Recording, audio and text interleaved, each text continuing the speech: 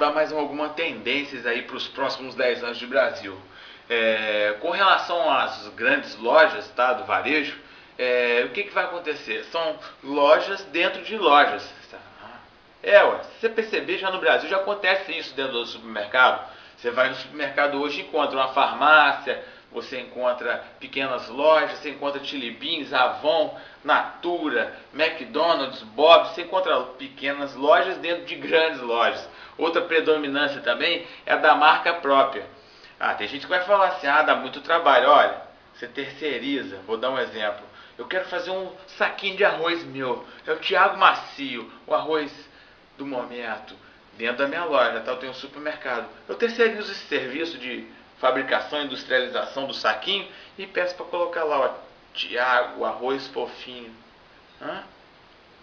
Aí coloco ele, sabe aonde? Tá aqui a marca líder, bem escondidinha ali no fundo da loja e a minha marca bem aqui em destaque para o consumidor ver. Tá vendo? Grande crescimento.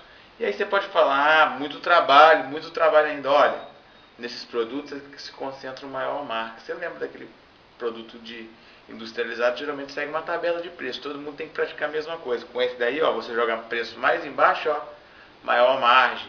Então, é, eu posso também citar um exemplo do Whole Foods Market, que é um supermercado de orgânicos, produtos naturais, que mesmo em áreas adjacentes ao grande Walmart, conseguiu prosperar nesses últimos anos aí aponta um grande crescimento.